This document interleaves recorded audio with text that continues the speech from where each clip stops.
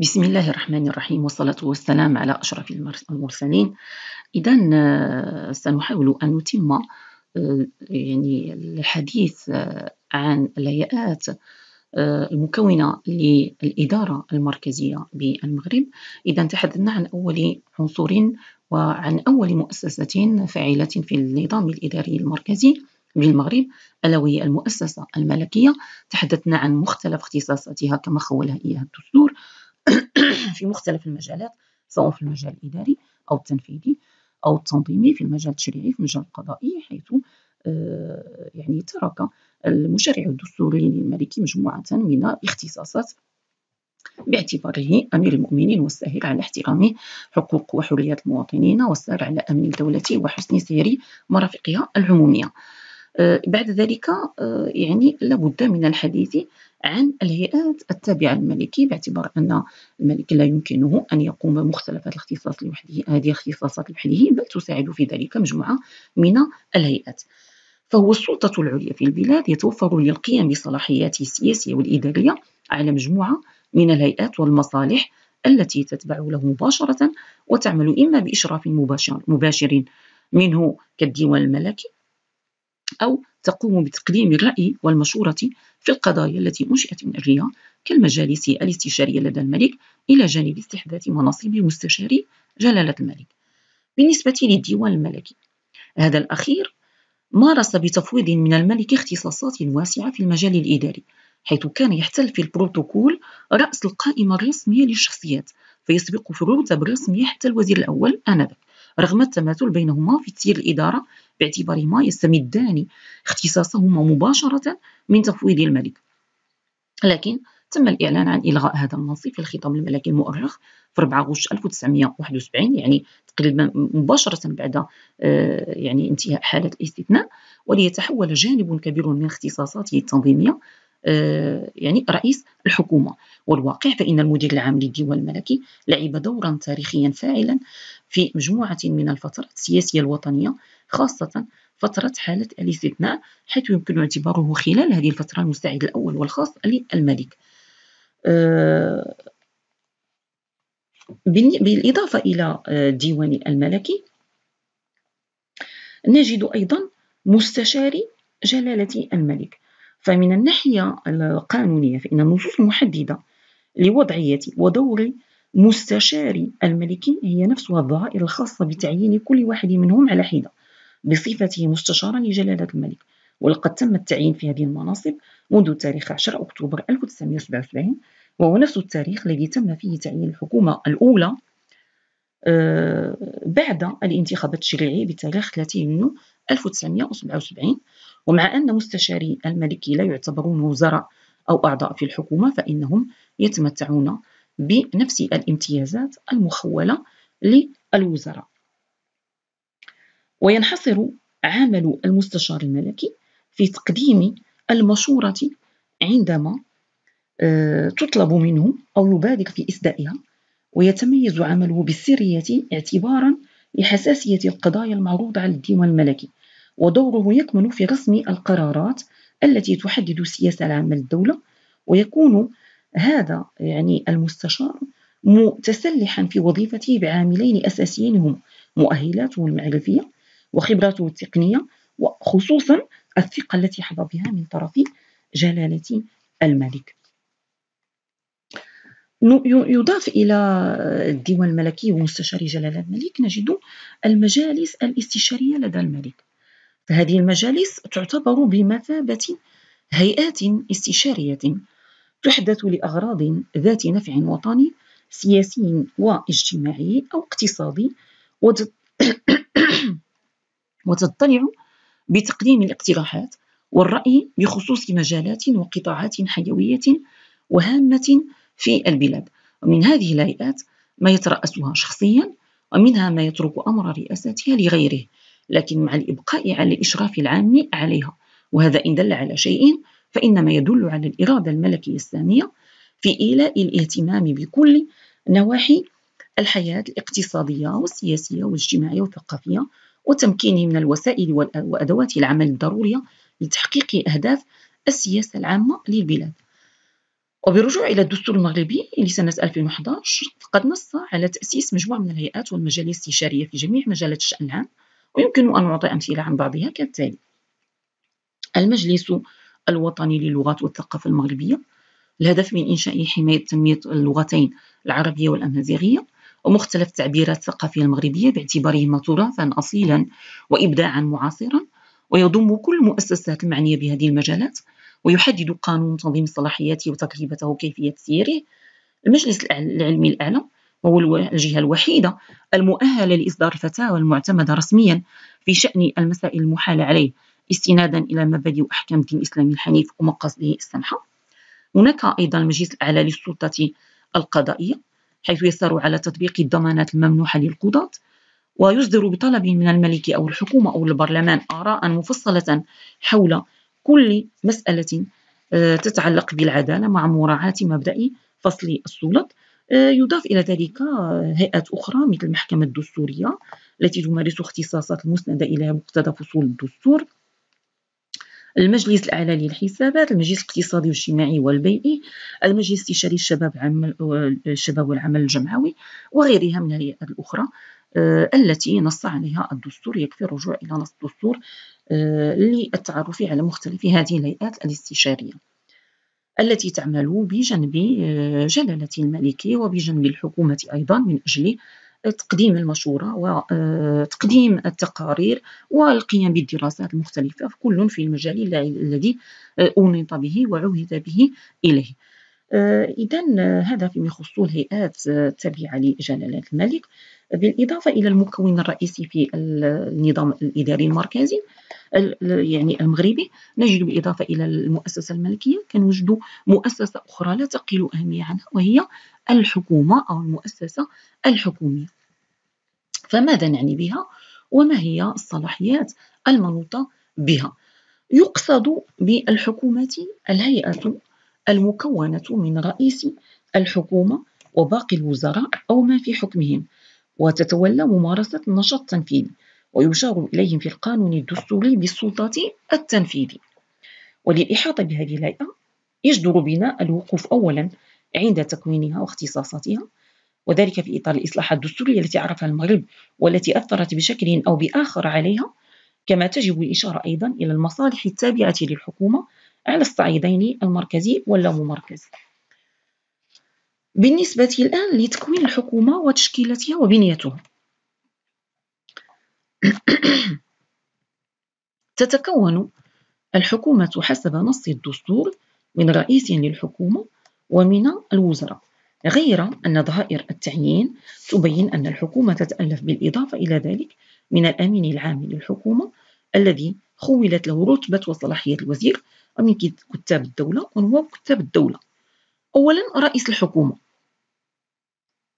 لابد من الإشارة أن هذه المؤسسة أخذت تسميات متعددة في إطار تطورها التاريخي. كانت التسمية الأولى لهذه المؤسسة هي الصدر الأعظم الذي يعود الفضل في ابتدائها للعلويين خاصة في فترة الحسن الأول.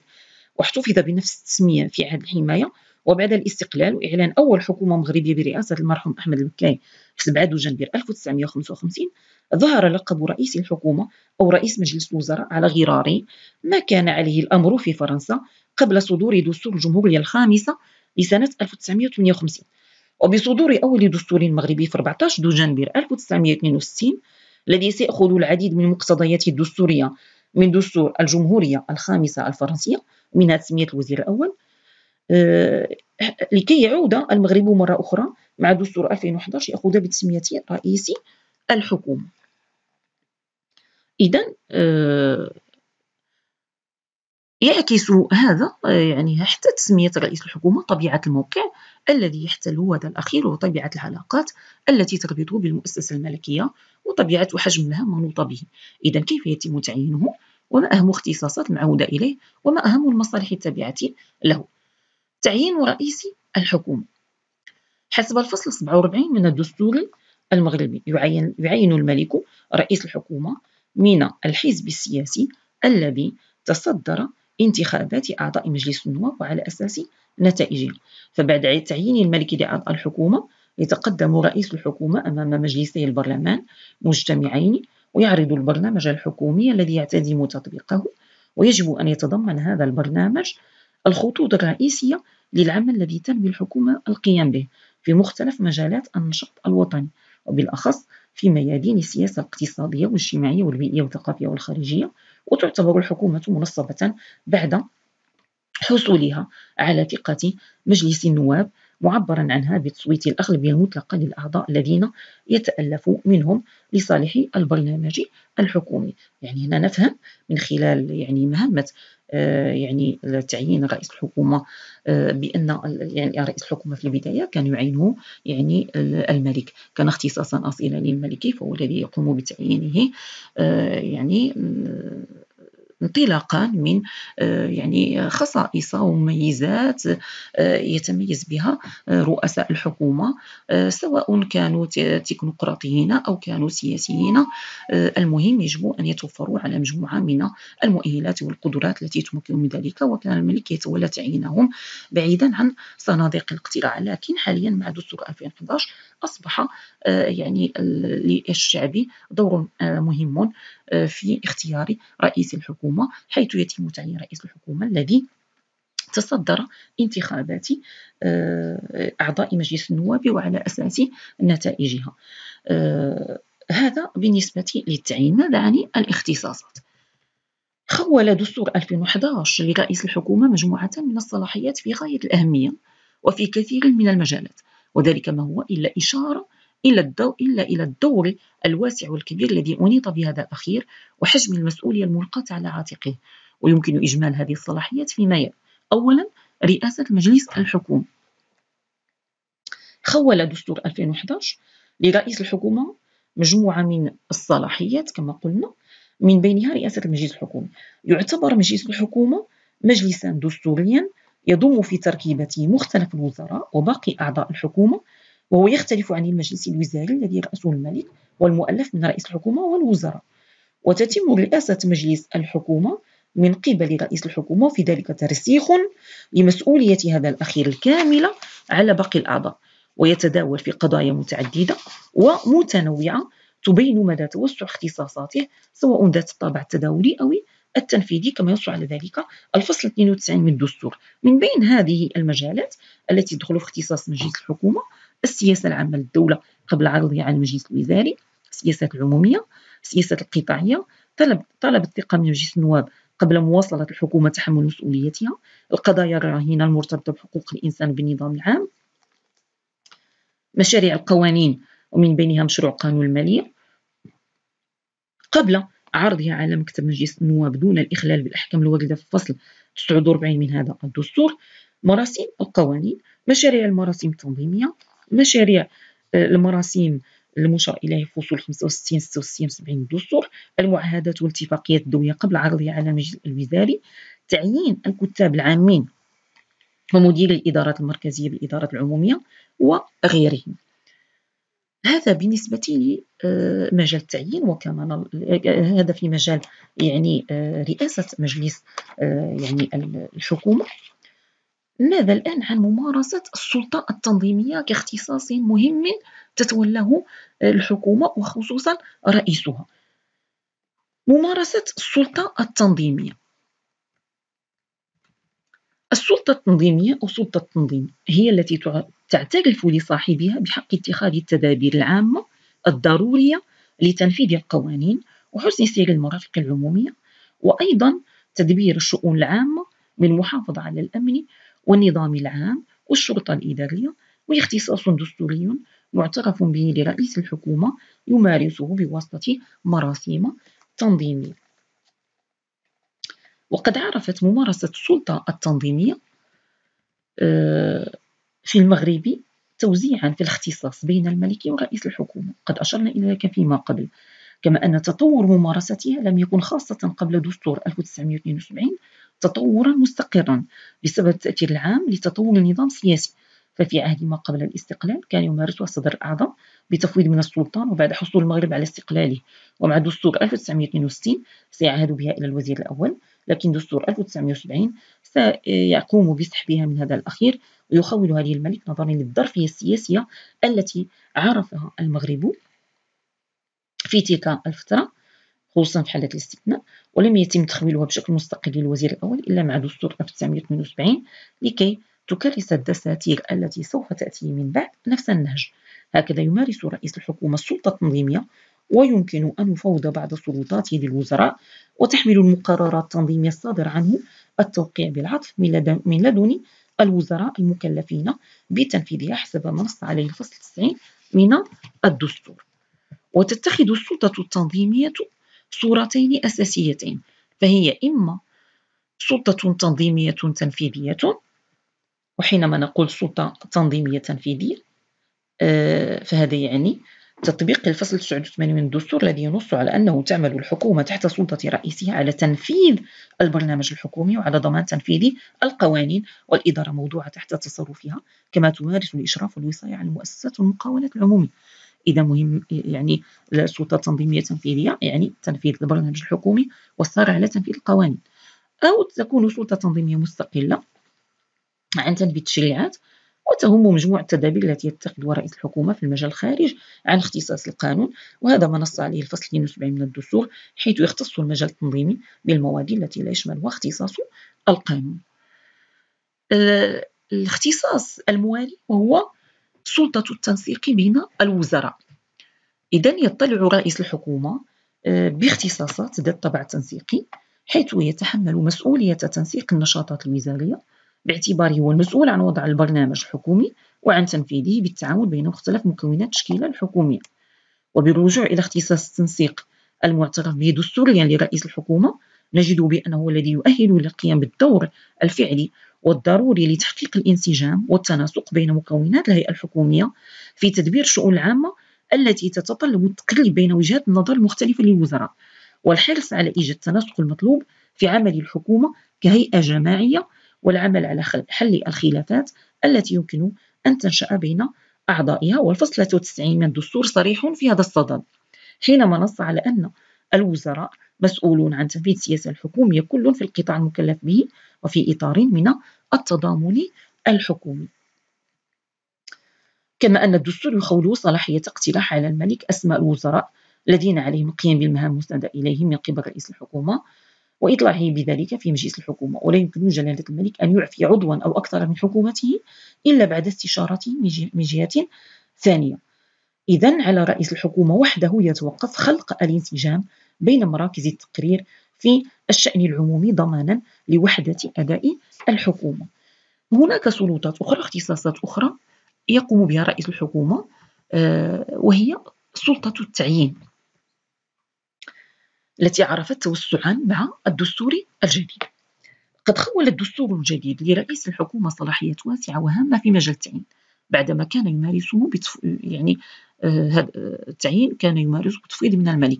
هكذا يمكن التعيين في الوظائف المدنية في الإدارات العمومية وفي الوظائف السامية في المؤسسات والمقاولات العمومية ويمكن أن يفوض في ذلك للوزراء. كما يمكن تعيين الكتاب العامين ومدير الإدارات المركزية بالإدارات العمومية ورؤساء الجامعات والعمداء ومديري آه، المدارس والمؤسسات العليا وله أيضا أن يقترح على جلالة الملك التعيين في الوظائف التالية ولي بنك المغرب السفراء الولاة العمال مسؤولون عن الإدارات المكلفة بالأمن الداخلي مسؤولون عن المؤسسات والمقاولات العمومية الاستراتيجية. آه، كما نصت على ذلك الفقرة الأخيرة من الفصل 49 من الدستور. هناك اختصاصات أخرى لابد من التذكير بها. يمكن لرئيس الحكومة طبقا للفصل 42 من الدستور التوقيع بالعطف على الضرائب الملكية باستثناء تلك التي آه، نصت عليها مجموعة من الفصول وسبق أن رأيناها بأنها اختصاص خاص بالملك فصول 41 44 47 51 وغيرها التوقيع بالعطف آه، أيضا آه، هو يوقع يعني بالعطف كما قلنا على الضرائب الملكية وتوقيع بالعطف في رأيي الفقهي يشير إلى تحمله المسؤولية السياسية عن هذه الظاهرة أمام البرلمان. كما مكنه الدستور من ممارسة بعض الصلاحيات التشريعية كالتقدم بمشاريع القوانين ومناقشتها في البرلمان وبمقتضى الفصل 70 من الدستور يمكن للبرلمان أن يأذن للحكومة أن تتخذ في ظرف من الزمن محدود ولغاية معينة بمقتضى مراسيم تدابير يختص القانون عادة باتخاذها ويجري العمل بهذه المراسيم بمجرد نشرها غير أنه يجب عرضها على البرلمان بقصد المصادقة عند انتهاء الأجل الذي حدده قانون الإذن بإصدارها آه، ويبطل قانون الإذن إذا وقع حل مجلسي البرلمان أو أحدهما حسب الفصل 81 من الدستور أيضا يمكن للحكومة أن تصدر خلال الفترة الفاصلة بين دورات البرلمان وباتفاق مع اللجان التي يعنيها الأمر في كلا المجلسين مراسيم قوانين تسمى مراسيم قانون الضرورة. يجب عرضها بقصد المصادقة عليها من طرف البرلمان خلال دورته العادية الموالية. هناك اختصاصات أخرى يمارسها بمقتضى قوانين أو بناء على تفويض كممارسة بعض الاختصاصات التي لا تدخل في اختصاصات أي وزارة أو تتعلق بعدة وزارات كعملية تنظيم مراقبة الأثمان وتحديد أسعار بعض المواد الأساسية سير إدارة الدفاع الوطني عن طريق تفويض من الملكي وبمقتضى التعديل الدستوري آه، تجر الإشارة إلى أن رئيس الحكومة أصبح, أصبح له الحق في حل مجلس النواب وهو إجراء كان من اختصاصات من اختصاص الملك وحده. بل أكثر من ذلك فقد جعل منه الدستور الدستور شريكا له في المجلس الوزاري. وتأخذ هذه الشرط وجهين إما بطلب عقد دورات له أو رئاسته بناء على جدول أعمال محدد شأنه في ذلك شأن رئاسته للمجلس الأعلى للأمن. والذي يحضر فيه رئيس الحكومة آه، كعضو وإلى جانب المكانة التي أفرادها الدستور الجديد لرئيس الحكومة فهو يتمتع بحق اتخاذ مبادرة قصد مراجعته وبالنظر للثقل الشعبي لمؤسسة رئيس الحكومة النابع من الانتخابات فهو مطالب, مطالب بأن يعرج على قبة البرلمان على رأس كل سنة ليمثل أمام نواب الأمة للإدلاء بالأجوبة عن أسئلة البرلمانيين بخصوص السياسة المتبعة وتقييمها كمؤشر واضح في اتجاه جعل رئيس الحكومة شخصية فاعلة وحاضرة في مختلف مستويات تدبير الشأن العام. إذا آه، نقف عند هذا الحد على أساس أن نكمل ونتابع الحديث عن باقي المصالح التي تتبع رئيس الحكومة وتساعد في القيام بمهامه في حصة أخرى بحول الله. والسلام عليكم ورحمة الله تعالى وبركاته.